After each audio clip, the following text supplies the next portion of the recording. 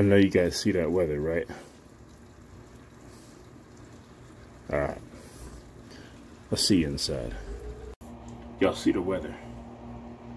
Y'all know what time it is, right? You gotta wear something dark. You gotta wear something dark, right? So, I'm gonna show you something real quick. This is um, a fragrance oil by Al Alif Perfumes. This is how, one of the ways I make my fragrances last. A little bit of oil. This is a white oud, so it's pretty, pretty inoffensive.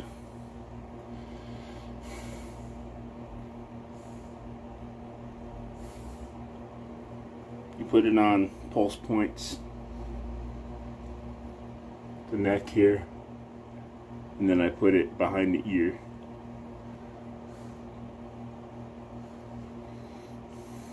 Now we can talk about the fragrance that I'm going to review.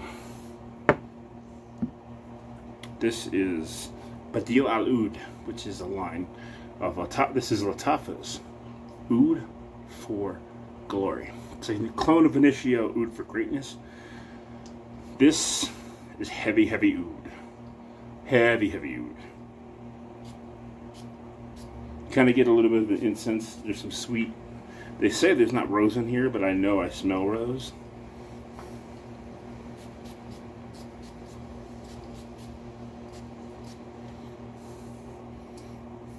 That's going to be a lot.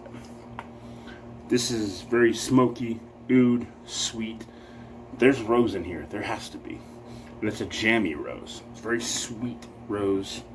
Um, the freight, the, the longevity on this one, great. Off my skin, and I have trouble getting fragrances to perform. This is probably a seven, eight hour fragrance.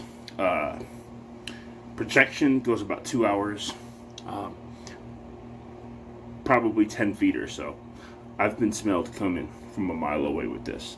It also helps that I overspray too. I spray a lot. I know I do. Um,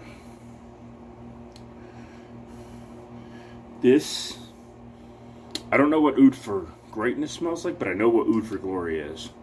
Um,